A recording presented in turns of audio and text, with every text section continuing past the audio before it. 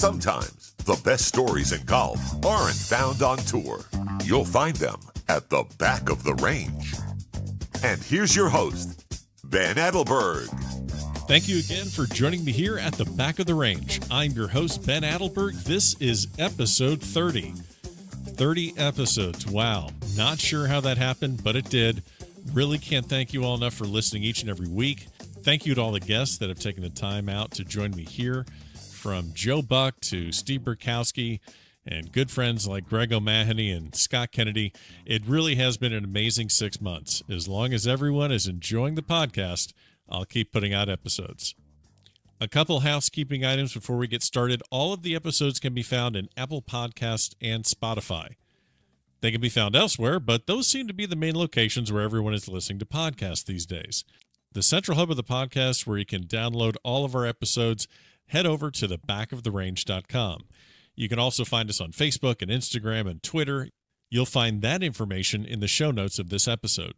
Speaking of Instagram, we started something called Free Towel Tuesdays. We have some really nice caddy towels with the center slit in them so you can put them over an umbrella or an alignment stick. They have our logo on them and we're giving them away. So all you need to do is follow us on Instagram. We're at the Back of the Range podcast. And on Tuesdays, We'll ask you to like the page, tell your friends, maybe give us a tournament pick like we did yesterday for the Open Championship. Anyways, we want to get some more participation with our listeners, and you'll be rewarded for it. So, just a little thank you from us. And hey, it's a golf towel. You can always use another golf towel. So, for those of you that do have one of these towels already in your possession, we want to see it on social media. So, next time when you're out, you add that towel, post a picture, tag us. You know the drill. You've done it before. We have some amazing episodes coming up this summer. I can't tell you any more, but we have some great college coaches coming up, maybe an LPGA player, um, some amazing amateurs. It's going to be a fun summer. Hope you enjoy the podcast and share it. I can't emphasize that enough. Please continue to share it with your friends, who you play with. We can't thank you enough for doing that. Okay, episode 30. Our guest this week is Nick Gilliam. We've had a long line of Gators on the podcast, and we're going to add one more. This one's a national championship winner. Nick is not just a member of the 2001 national championship team that had Camilo Villegas and U.S. Amateur champion Bubba Dickerson, but he also won the individual title. We spoke about his time at UF, his time playing professionally, and one of the coolest damn jobs I've ever heard of in golf after he got done playing for a living, of course. So, Nick, thanks for the time. Welcome to the back of the range. How you doing? I'm doing great. Thank you, Ben. How are you? Nick, I'm doing great. I really appreciate the time. Thank you so much for joining us here at the back of the range. You know, we have tons and tons to get to with you. I mean, winning a national championship at the University of Florida, transitioning into the professional game, and having that amazing job with FootJoy that we're going to get to a little bit later. But we always start our episodes off with just a little bit of background information, give our listeners an idea how you got into the game of golf, where you grew up, so go ahead and give our listeners just an idea of how you got started in the game. Sure. Yeah, it's um, I grew up in Green Bay, Wisconsin, so uh, my golf season was quite short. But um, uh, as a young man, my dad is uh, and still continues to be a very good player. He was county amateur champ three times and competed well in the state. So um, of course, he wanted to be out golfing selfishly when I was a young man, which I can relate to now having a three year old. But uh, he cut off some sawed off some sticks for me, and I'd be chasing them around with persimmon, balata back then, of course. But um, you know, it was it was a great uh, relationship builder and bonding time for us. And as I progressed uh, um, into the game, around 12 or 13, it kind of was pretty quick to realize that I would be able to compete well in the state. So I started playing some state events. And, but with a short season, I still played basketball, being a tall guy. Sure. And uh, as uh, uh, I quickly also realized I was kind of slow and didn't jump very high. That I should probably focus on one sport, and it it turned to golf. So um, I was lucky. It was it's a great state to grow up playing golf in, but it's just sadly a short season. yeah, yeah. You know, Wisconsin really does have a a a lot of golf crazies up there. I mean, you just had the the U.S. Open at Erin Hills, and uh, yep. obviously everything over over at Whistling Straits and Black Wolf Run but uh, it, it sounds like just the weather and the opportunities in Florida. That's pretty much was a huge draw. Now, were you recruited out of out of Wisconsin to go play at the University of Florida? How did how did that happen? Well, um, I was lucky enough when I was 16 to qualify for the U.S. Junior in Flagstaff, Arizona, uh, at Forest Highlands, and I was I finished in the quarterfinals, and I hadn't played. I'd lost in the quarterfinals, excuse me, uh, to the eventual winner, Shane McMenemy. Um, I ended up getting invited to AJGA premier events because of that alone. We didn't play much AJGA due to cost and travel time, etc. Um, but we would we decided to come down to the one in uh, Disney at the Magnolia and Palm course around Thanksgiving uh, that year, and uh, my dad's wife at the time was my stepmom. Had her brother living in Gainesville, Florida, and uh, long story short, they saw my discontent with me not playing well because I hadn't practiced much leading up to that point because there wasn't really ample opportunity in Wisconsin to play golf in October, November. And uh, they were nice enough to invite me to move up and, or excuse me, move down and, and live with them and give golf a full time run. So um, it was it was a big step, big chance. I was halfway to my junior year of high school, and uh, just up and left. Went to Gainesville, and I wasn't recruited uh, heavily by Florida after that, but Buddy saw me pretty much every day because Gainesville High School, where I went, um, did practice at UF Golf Course. So he's he always claimed he was confused. He didn't know who I was because during the summer I would say I was from Green Bay versus Gainesville. So nice, nice. So so just you so basically just through family op through just opportunities through your family, you just found yourself basically practicing right in the home, uh, right in the home course for the University of Florida, and at that time. Yep. Uh, really strong, really, really good powerhouse. Now, you spent four years there. Um, you know, you're a three time all SEC academic selection. You were an All American in 2001. Uh, uh, no doubt, uh, heavily in part because you won the national championship as an individual. Tell me about some of your experiences and some of, uh, uh, you know, just what was the team dynamic like at that time? Who were the guys on your team?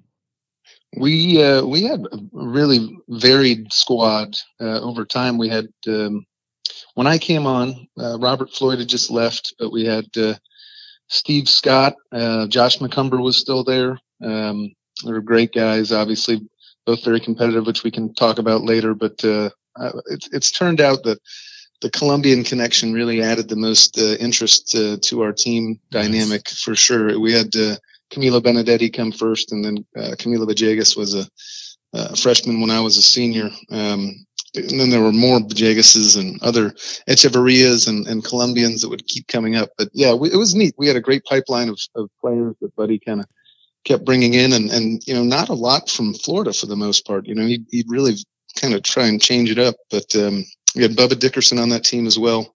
We also had an Englishman named Ben Banks that was on our squad that uh, was a walk on that actually was the first person from our team to get full.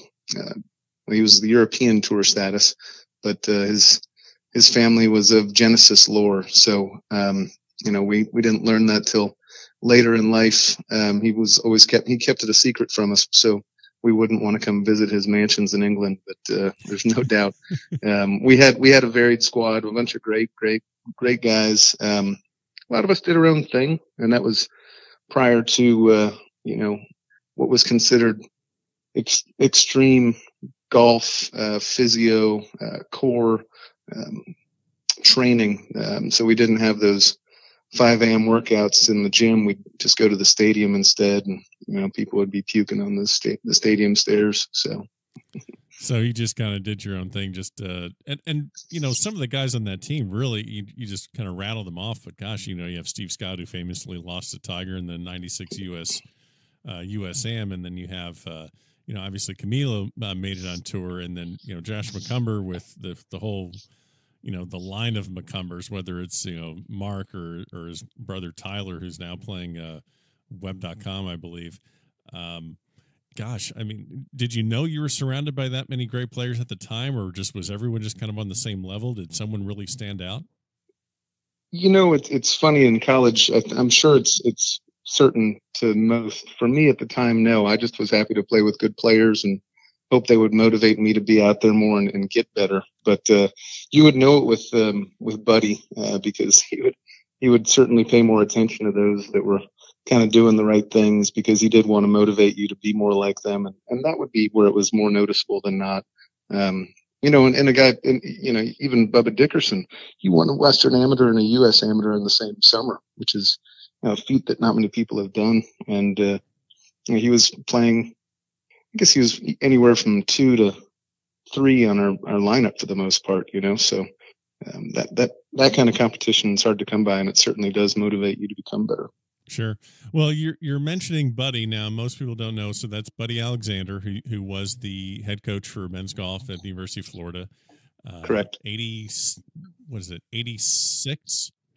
Uh, That's probably about eighty-seven or so. To yeah, yeah, yeah, I don't know. And then I believe hey, you're the researcher. No, Jeez. I know. Well, that's my fault. No, I was saying actually eighty-seven U.S. Amateur winner. I believe. Oh uh, uh no, uh, that was the nineteen eighty-six U.S. Amateur. Yes, I do know that. I've heard that story. In fact, I've so been lucky enough to play golf with him at Shoal Creek uh, later in life too, and he was quick to he was he, he, pointed out a lot of golf shots he hit during that championship match. So. Yeah, yeah, we had Duke Butler the fourth on, who I think was there at UF a little bit after you, and he shared some pretty good uh, buddy stories. I think they he liked to play matches against the guys, and uh, Duke mentioned that he won one and then wouldn't hear from Buddy wouldn't talk to him for a month. So uh, yeah, I'm sure that in this platform you would have a, a, a you know plethora of stories you could share about your, about your old coach. Uh, anytime things got a little ugly for you guys out there with him? Never. Never. Well, that's a, that's a lie. So you know what, Buddy was just a great competitor. He still is. The guy will. He does not back down, and uh, he grinds hard. And, probably one of the first times I I actually transferred back. I went to Chapel Hill for a semester before I came back to Florida. Um, and uh, what what was neat was we were playing a match play tournament together, which usually the winner would get a free pair, an additional pair of shoes, you know, because we all got free shoes, but we just get one more nice pair that you could pick out. Sure. And um, I got him. I got paired against him in the second round, I believe. And on the second hole, I think I'd already won the first, and uh, second hole he hit a bad approach shot, and he just full on helicoptered a golf club. I was looking over them. Oh, this doesn't happen too often with an adult. like this is an adult behavior. That's the role and, model. That's that's the one that's keeping you guys in check, right? Exactly. But um, he ended up taking his thumping that that day, and I think he gained a, a newfound respect for his transfer coming back to play with him, and, and he did. He he he was very modest after the round, so it shows his ability to understand the complexities of the game. Um, yeah, outside of that, we certainly had several different uh, run-ins on the golf course, there's no doubt Buddy would would let you know if you're not doing something the right way, and uh, you were aware where you stood on the golf course um, quite a bit because Buddy was one of those types of coaches that you know he, he not only led by example um, on the way he would manage a golf course, but he expected um, that from a team captain, which I became later on, and uh, would anticipate me to not make any mistakes that would, you know, he could have to retell at the dinner table later. Sure. Well, I mean, just through looking through all the different names, all different players you had there, you just have so many big, huge personalities. It's yes. obviously not expected that everyone's going to get along all the time. Just, you know, everything's going to be perfect is that pretty much commonplace that you felt with your team where everyone was pretty much friends and everyone pretty much worked together but there were times when things just kind of got heated and competitive? Yeah golf golf is uh you know certainly not a team sport by any means. So there there there were definite definite run-ins whether it was b- between player and coach player and assistant coach player and player and uh, those those types of moments probably only made us stronger over time, make you a better person in, in many ways if you uh, hopefully adapt to the situation and learn from it. But um, yeah, I can I could definitely say that uh, the personality component, um, not just with Buddy but players, was evident. I'll, I'll never forget watching Bubba and uh, Camilo Villegas, Bubba Dickerson and Camilo Villegas argue over a dozen golf balls that uh, you know Bubba left somewhere in a hotel room and Camilo picked up and Bubba was mad because he forgot where his golf balls went. And Camilo said, I found them. They're mine now. And I thought they were going to fight each other in the airport. Um, they had to be broken up. But, you know, those types of moments are what it's all about. We're competitive people. And um, in the end, it was all about individuals playing well for the betterment of the team. So, you know, the individual component won out more often than not. Well, and and I'm glad you told that story because it kind of gives me permission to lead into another story. Uh, uh, there was a uh, apparently some sort of a wrestling match between an inanimate object and Steve Scott. Oh well, Steve, you know, he he probably was one of the more competitive human beings that I've run across in my life, um, and I I love him for that. He taught me a lot. That was one of the issues I I most likely had as a, a professional player. I wasn't tough enough, and I'll tell you, Steve, he he didn't want to lose to anybody, and uh, I think it was Camilo Benedetti. We were playing the Raven in uh, Arizona, and I guess in Tempe or somewhere around there. It was uh, or Tucson, excuse me. It was uh, Arizona's golf tournament. I believe Camilo Benedetti shot 28 in the back nine to kind of back end his way into top five or something like that. Well, that's um, yeah, it was pretty nice, and uh, I think he beat Steve by a shot or two because of that. And Steve was a senior on the team and, and didn't, he wanted to beat everybody every time he went out. And, and he literally, before he put his clubs in our team van, picked them up about a foot and a half over his head and body slammed them directly onto the concrete. And I've still to this day, I've never seen something quite as impressive as that feat. So needless to say, he got some new wedges and a few irons or ground him out, you know, after that. But uh, all, all it was be, it was quite team, hilarious. All because a teammate beat him. Exactly. Yes. Well, you know, he still wants to win the individual competition. Nice. Good grief.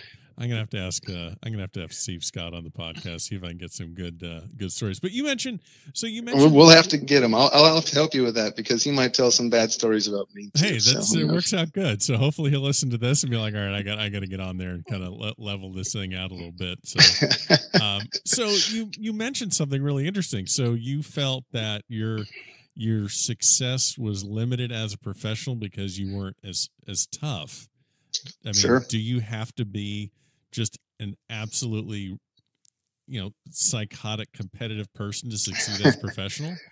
Oh well I, you know I, to be at the the highest level I, I believe you have to have um, a form of that yes. Does it have to be exactly that? No. I just tended to be um, complacent with my, i'd be happy with my top fives. I didn't uh, i didn't have the killer instinct to win quite enough. And uh, steve certainly had that. And you know my first collegiate championship was the NCAA championship my senior year when I was graduated. So, um, well, and that shows that, something. Yeah, so that leads us in. So you spend your entire four years, or you spend you know, your entire college career at, at UF, and you're, you're you get to the national championship, and you know I'm not going to ask you to go through each and every shot, but were? Thank goodness. Yeah, we're not going to do that. So we only have seven hours to talk today. We can't go the full nine. But um, I mean, did you? I mean, there's really no no clever question I'm going to ask you that hasn't been asked before. But did it feel like a different tournament at the time? I mean, how did you compartmentalize everything to deliver at the highest stage in college golf? Sure. Yeah, it was only it was only my second NCAA championship too. At the time, we um, we didn't qualify for uh, the 2000 NCAA, and uh, I played on in '99. It was at Hazeltine. In '98, um, I was actually the sixth man and uh, didn't end up making the trip. So um, we had kind of gained some momentum um, leading towards 2001 NCAA's. That was you could kind of sense it as a team, and I was starting to play a little better and uh, had some really good advice from Chris Tooten, who was our assistant coach at the time, about simple stuff. It was just, you know, focusing more on just engaging in my pre-shot routine, ensuring, you know, tempo and alignment were appropriate. Not anything, like you said, that you haven't heard before or questions or things that haven't been answered before. Sure. But I'm, um, I'm of the belief that, uh, I didn't know what was going to happen until well, we got we had a rain delay, and I, I uh, Ben Banks would probably love to tell the story. I, I, was I was a big fan of talking to myself in the mirror, kind of like uh, Stuart Smalley does. You know, like yeah. you're, uh, gosh darn it, you can do it. You can do it. You're good enough. You're good enough, yeah, Nick. That was that was me, and uh, oh it was we had probably 27 or 20, I had 28 holes left uh, the last day, and uh, it was then only then did I really realize that I had a chance to win, and that that positive Stuart Smalley self talk worked out for me. So good enough. Hey, uh, they can, you know, no matter how you got it done, you got it done. They can't take that away from you. You're, uh, you're NCAA individual champion of 2001.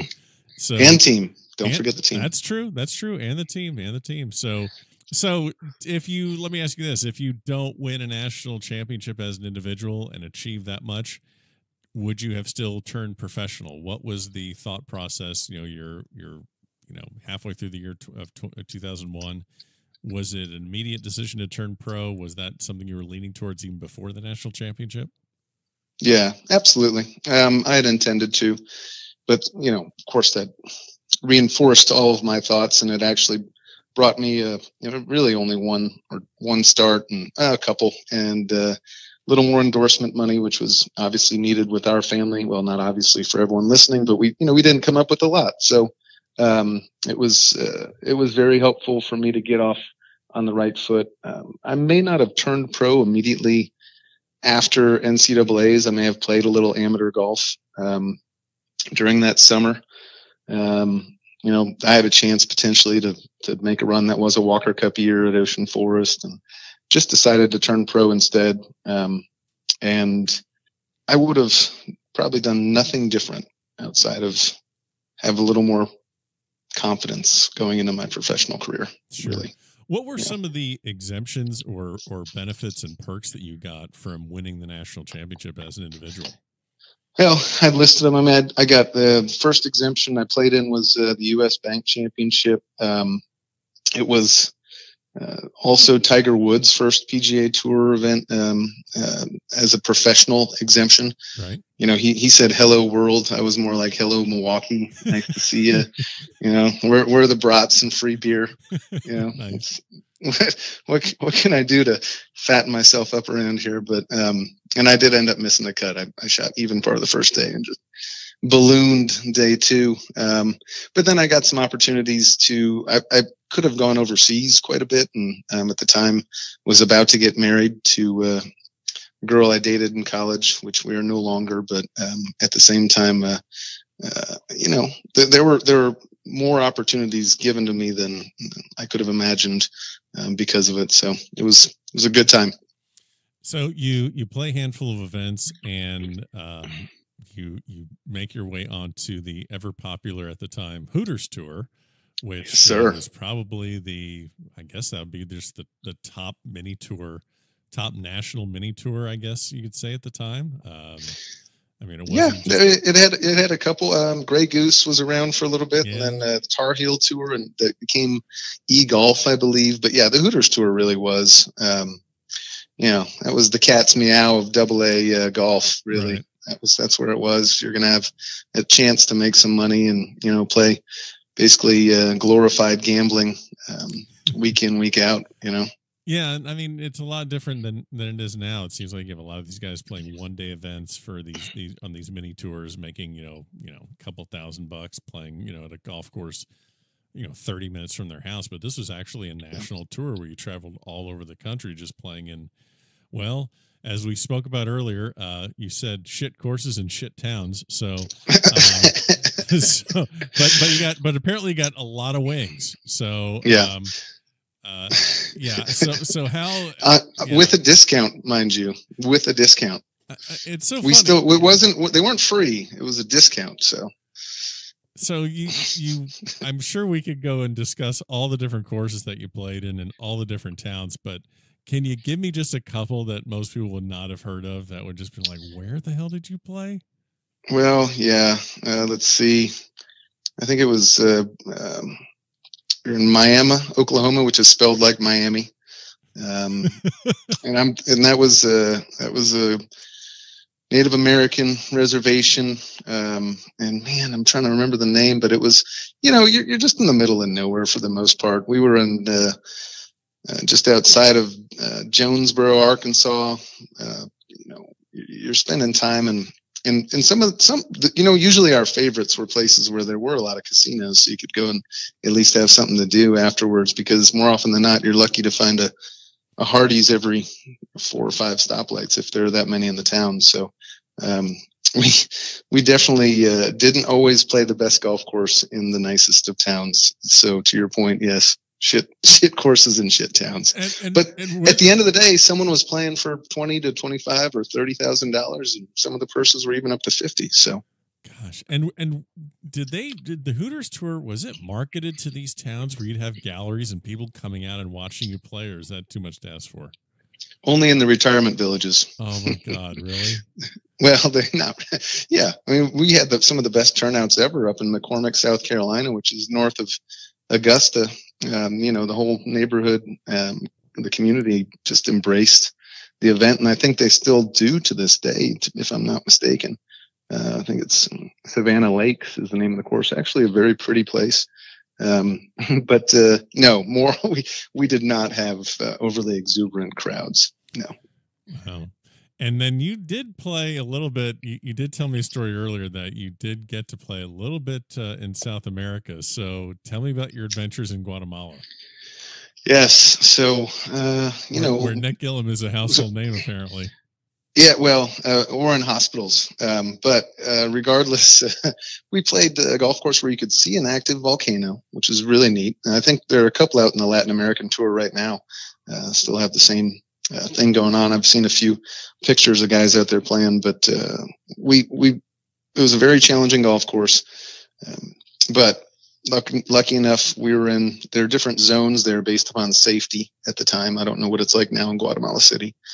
Um, certainly, every security guard did have a semi-automatic weapon on them, and you know you're a little it's a little disconcerting as a kid from Green Bay, Wisconsin. But uh, yeah, well, regardless, go ahead. No, I was just going to say you better you know you better take full relief from that car path, or else someone's going to mow you down with a semi-automatic weapon. Apparently, right? Yeah, exactly. We had to be very cautious, but uh, we did get bussed from our hotel to the golf course. Um, so after we'd always have with the Hooters tour events a Wednesday pro am, and uh, the Wednesday pro am in this case, I was lucky enough to meet some very nice nice people.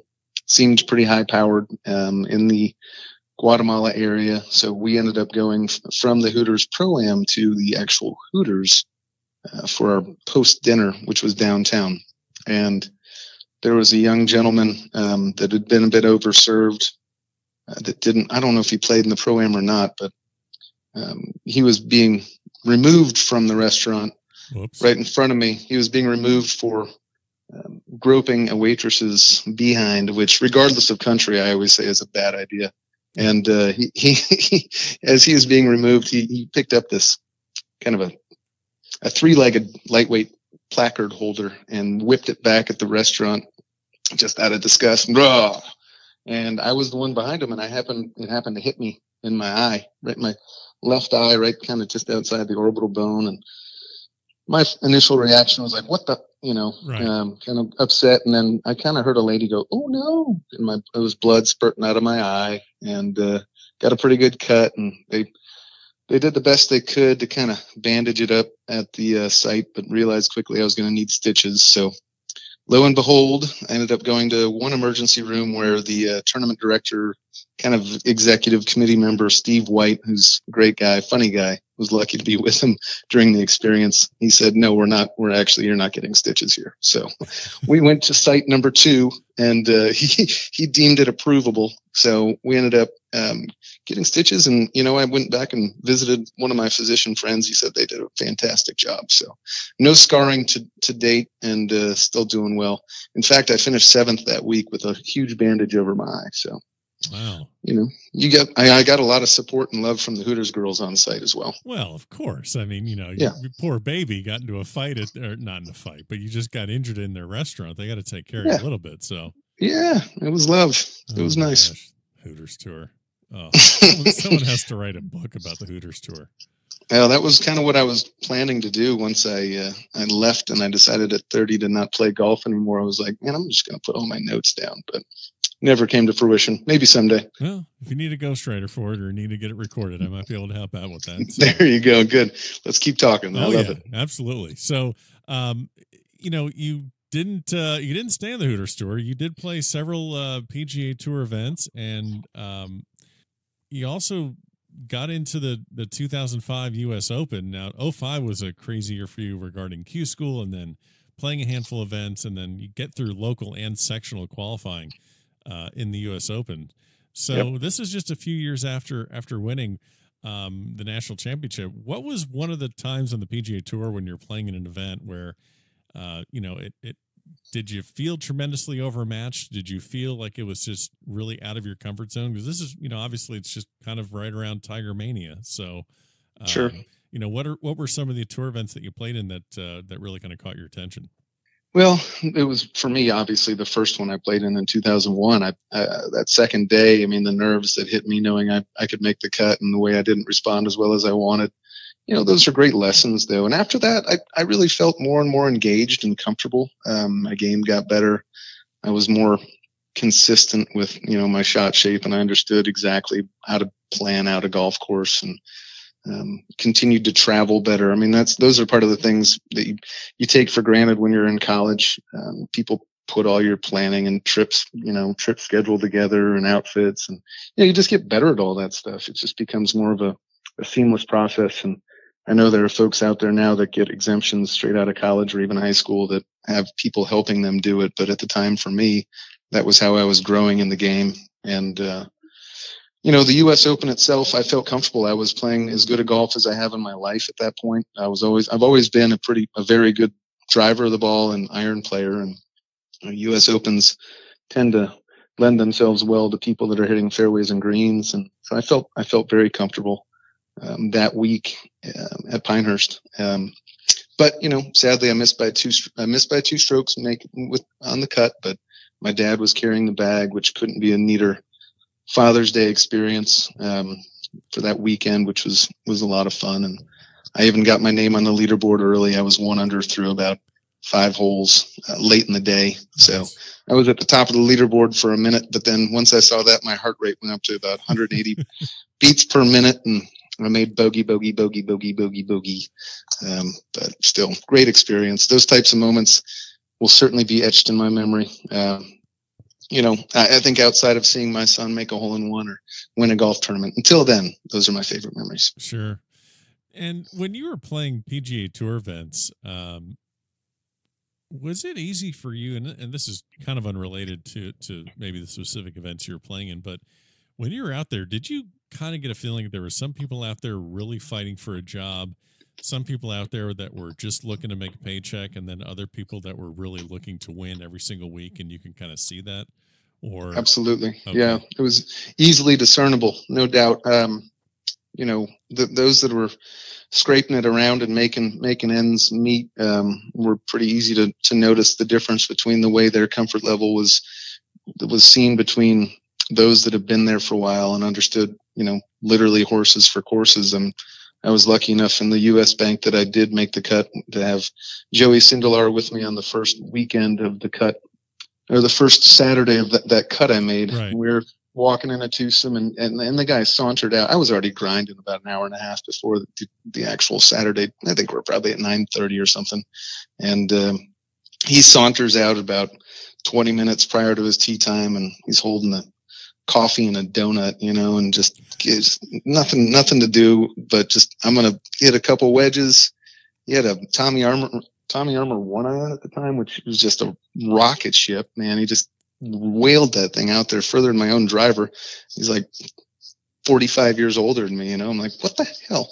Right. But, um, he, uh, he couldn't have been nicer and uh, he knew what he wanted to do. He he would he would fly home on Sunday nights if, when he made the cut because he pretty much made most cuts, and then you'd come back on Wednesday mornings and play in the pro am and then play in the golf tournament. He'd done it long enough that he was just making his checks. And uh, the guys that you know you could tell that were certainly different were kind of had an air about themselves and were fairly untouchable. And uh, that's a hard skill skill set to develop. Yeah, because I I I kind of just I'm fascinated by the dynamic of of the PGA Tour, where I guess where they market the the big high uh, the high profile people, you know, the Rickies and the Rorys and and the, you know, obviously Tiger and Phil and, and all those guys. And um, but there's guys out there that this is just their job. They're not. Yeah. They're they're going to be fine if they, you know, they're fine if they don't win. They're fine. They just need to make some cuts, make some paychecks, and I mean, so you saw that out there. You're well. They're still they still fit the mold of their you know what is a great great slogan for the tour, but that, that, these guys are good or was a great slogan because they, I mean, they, they were very good and their game would travel. And, sure. but yeah, to them, you know, maybe the fame and, and, and all of that just wasn't what thing. you aspire, you know, to have. You'd rather have the family life. And sometimes it, you know, it's hard to imagine a Jack Nicklaus that had kids so early and, you know, how uh, you know, he, he, he did, he, he was obviously a grinder as well, but, you know, it's everybody comes from different means and has a story of their own. And and uh, yeah you could definitely you could see the dichotomy dichotomy pretty quickly when it comes to good better best which um, certainly is true in all forms of life. Sure. And then you know the the us open that you made uh, getting through now did you have to do local qualifying also or did you just go right to sectional? I did get i went through uh, the grasslands in lakeland. Okay. And uh, on to old memorial uh, in tampa is uh, it was hot. I, I mean, is the pressure of now? I know you've gone through Q school. That's the pressure of, of the of the job. Uh, compare that to the pressure of a of a sectional qualifier for the U.S. Open. Yeah, there's no doubt. There's a great amount of pressure. I, I was lucky. I was playing so well at the time that I really didn't feel too much. But um, I've since felt it as an amateur, trying trying to play against these guys. But no, at the time it wasn't it wasn't too bad. It was my job and it, it felt right. But uh, yeah, there, I mean, you want to be there as badly as possible. I mean, it was that there's there's nothing more to drive you to play in our national championship. Um, if we, I wish there was a Monday qualifier for Augusta, and then I'd, I would have oh been there God. too. But. oh, that would be that would actually be nuts if there's a Monday qualifier for Augusta. Well, they're going to have a women's event out there. They I might know. as well have, you know, a Monday qualifier. It makes sense. Open it up. Oh but regardless, that's a whole that's a whole different story. But yeah, I was lucky there also, and um, at Old Memorial to have my dad on the bag, and he pulled a few antics while we were out there, just keeping me loose. He oh, made, whoa, we got to hear about this. So he, uh, oh man, let's see for those that are listening or will listen, um, Old Memorial has, let's see, number five, I believe, is very challenging dogleg left par four. Um, I had played, I sat 67, I believe, and was leading by a few maybe at the turn, uh, well, after 18. And I had already made, I think I birdied three and four. So I was, I was going nicely. And, uh, on five, I just had a brain fart and pulled it right into the water and I, I knew the second I hit it, it was going in the water. But my dad continually, as a good caddy and was fired up knowing he's got a chance to get me in the US Open, was going to watch that ball down. And as I walked back to the bag to grab a ball and put my club in the bag because I know I was going to have to walk up and take a drop, he says, splash.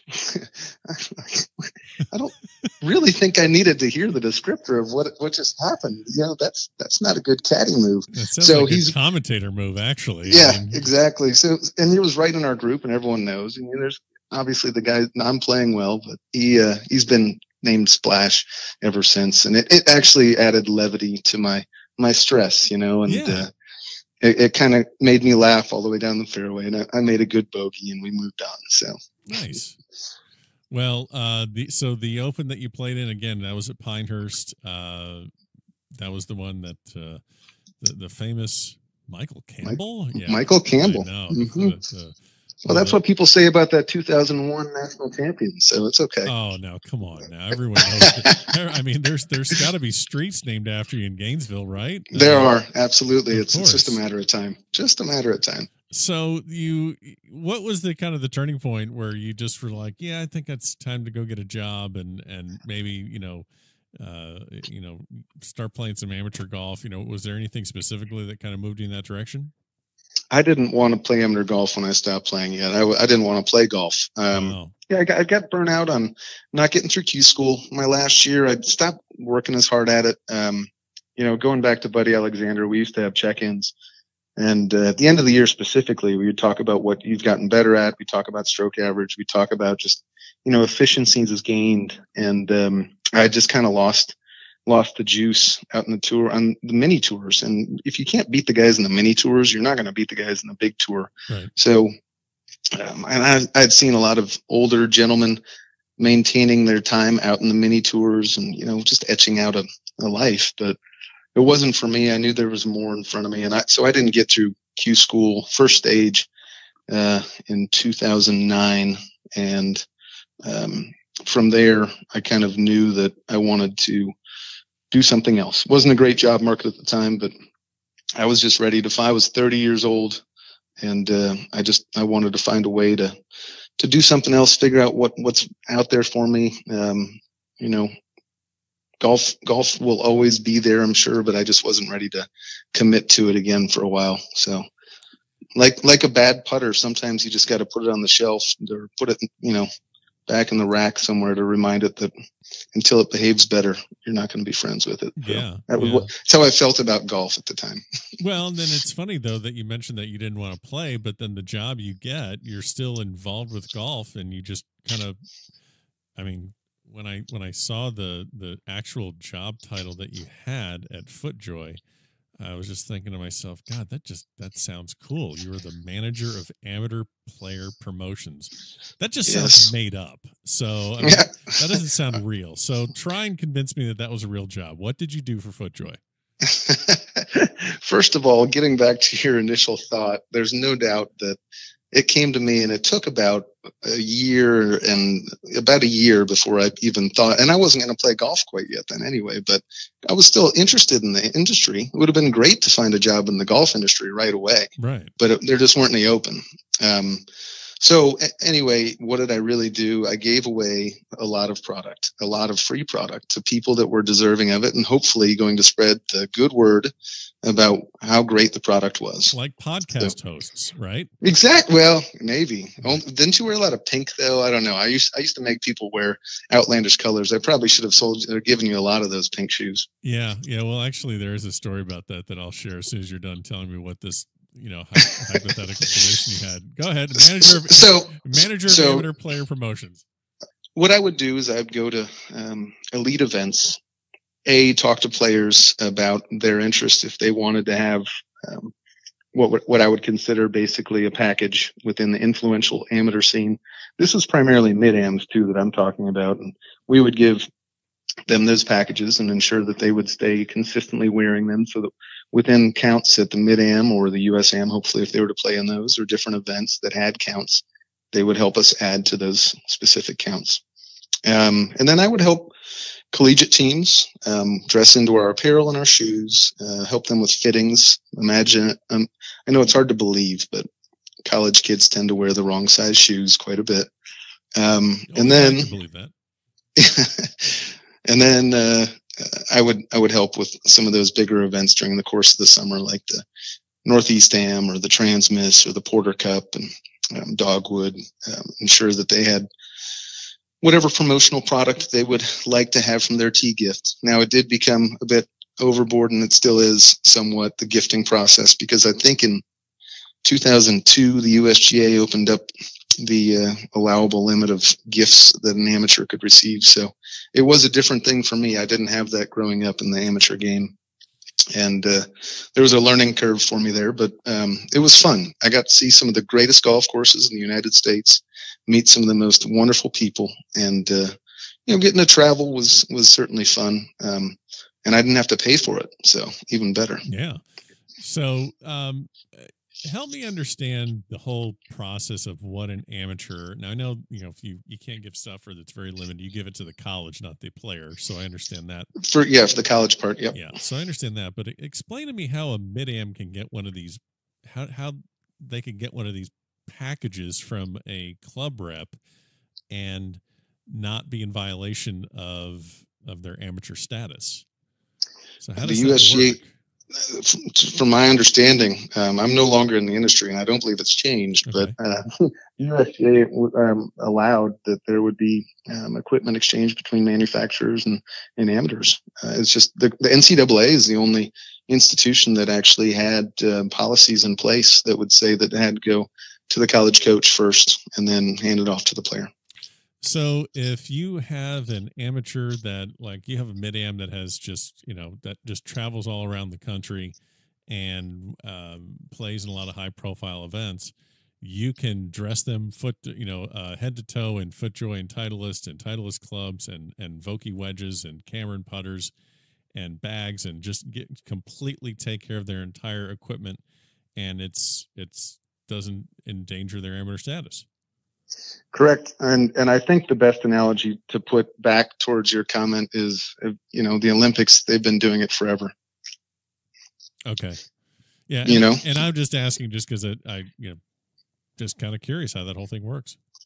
Yeah, it is. Uh, it was interesting for me, um, and it was fun. Um, I, I, didn't have enough for everyone, but certainly those that did play the most and had had uh, you know championships on mind would would get more of the attention. Um, just like I talked about Buddy with his players, you know, the ones that were playing the best were certainly going to get the most attention, sure. and, um, and that's the um, the the neatest thing for me was um, seeing the smiles on their faces, the gratitude, um, the thank yous. Uh, then you know, I I started to do. I, I after a while, I just would name the packages like after nicknames I would give them. So when they'd arrive at their doorstep, it would at least put a smile on their face, you know, sure. when they'd arrive. So, yeah, I remember when I played uh, my my only USGA ter- event was a 2012 US Mid Am, and I saw you there, and I forget what we were talking about, but you're saying something how no one's birdied it. It was at Conway Farms where they played the BMW, oh, yeah. and something about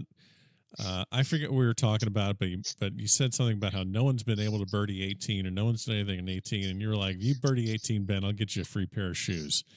and um, didn't didn't really need to give you my shoe size. Didn't didn't didn't need to bother telling you that because I did not. Uh, yeah, no chance. But um, I probably, I, I, probably, uh, I was like, man, I can't believe he did it, and I didn't, I didn't want to chip him to you or something. No, no, no, no. I would totally tell you if I did. So no, not, not even close. Not even close.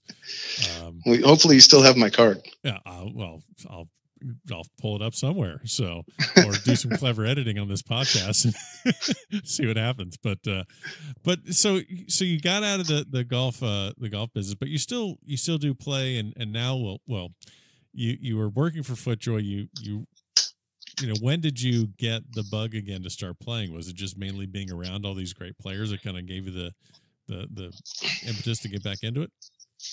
Obviously, yes. Um, and and reinstating after getting the job was was a no brainer for me. So it, it did take. Uh, mine was a little over two two and a half years, I believe, um, in my waiting period. Um, it was definitely uh, exciting to be able to play again, and I was lucky. I had the, the connections to get into certain events and I, I, competed. I competed well early, uh, and after a while, it just it got harder because at events I'd be working while playing, uh, be giving, doing giveaways and shipping and, and dealing with all these things instead of just really focusing on being in the range. But right. um, it was fun. The duality of being in that sense was was quite um, original. I was the first person to have the role with FootJoy. Um, there's a new person that's replaced me. His name's I probably shouldn't say it on this podcast. Actually, he's a great guy though, and uh, there's no doubt. Um, I loved being able to to play again. I, I, found a newfound respect for it, but I wasn't going to shit courses and shit towns. I was going to the, the best courses possible in oh, mint yeah. condition, playing against the best condition or best players in the amateur golf. So, um, you know, and, and then of course getting to know the cocktail circuit a little bit with the mid ams out there and, and, and understanding some of those opportunities um, really that, that, piqued my interest even further. Yeah, that's a different world. I mean, we have people listening to the podcast that are, you know, whether they're scratch players or 20 handicappers and everything in between, but but that cocktail circuit, I mean, that is just the elite um, I mean, the elite courses, the elite players. I mean, did I mean you're you know playing professionally obviously helped, but then also what you did in college helped. But um, the the people in there. I mean, I've, I was recently uh, I, I, spoke to Gene Elliott recently, and he's he's in in that world, and T.J. Stewart's in that world, and sure. a, a, lot of other people that I've I've spoken to. Uh, I mean, did you ever think in a million years to be playing on those courses and in those events at, at 30, you know, 30, 35 years old? No, I never did. Um, and, uh, it's a fun experience. And, you know, more often than not, you run across people that are the best. And, uh, you know, it's for those that are trying to network in, in certain industries, it's a great opportunity for them to do so. Um, it isn't just all play. Yeah. There's certainly some work involved. Um, but at, at, the same time, um, I didn't play in all of them too. So I played in just a few and then I would promote with, with event, with product there. So, um, I'm hoping to try and re-immerse myself over time, but having a, a kid and a full-time job and limited uh, funding certainly isn't possible to do them all. But yeah, I, a boy a boy can dream. Sure. Well, you can't play in everything, so that's that's why we're we're working stiffs, doing our thing. Um, that's right. You you mentioned uh, you mentioned your buddy Camilo Villegas from from college oh, yeah. days, and sure. uh, he is well. He's known for his cycling. He's known for his uh, you know J.Lindeberg uh, fashion choices, and then also his unique method of reading uh, reading putts. And did you see that in college? Uh, his Spider-Man uh, kind of, uh, I mean, brilliant marketing, but but did you ever see that in college? Well, eh, you know, funny enough, he didn't read putts like that before there are crowds. But uh, oh, oh, you mean if there's no cameras around, he just he just crouches down like everyone else? Yeah, it's it's shocking, yeah, I know, but it, it, was it was one of those funny moments. I was still around Gainesville, and he was as well, and uh, there might have been some experimenting, I guess, prior to uh, said experience. But I think the first one that really was the highlight for folks was the Players Championship. I don't remember the year now. Shoot, I'm getting too old, but it was a third round. I know that, and it was a backhole location at 17. Um, we were having a, uh, think he finished third that year as well. I'm pretty sure about that.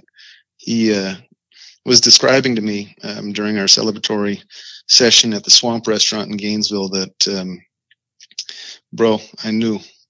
I just, it's a perfect spot. and it was. I mean, people were in awe. He had his leg hanging over the island green. I mean, it was, you just can't beat stuff like that. So he, he was, what, what I can say about Camilo is he is one of the sharpest individuals I've been around. He, he plans things to a T. Um, he got bigger and bigger, stronger and stronger during his collegiate career. And uh, I'm proud of him. He's won a lot on tour too. People or you know surprised to hear his numbers, but he's been grinding it out for a while. But yeah. there's no doubt he did not do the Spider-Man um, at SEC championships or anything like that. You know, so. No, yeah, no, that was that was brilliant, and gosh, I mean, that's I think he got a deal. Yeah, I just remember seeing commercials of him doing that. I mean, that was just a that was brilliant. It was absolutely brilliant. Yep, so, yep. great marketing maneuver. Oh, absolutely.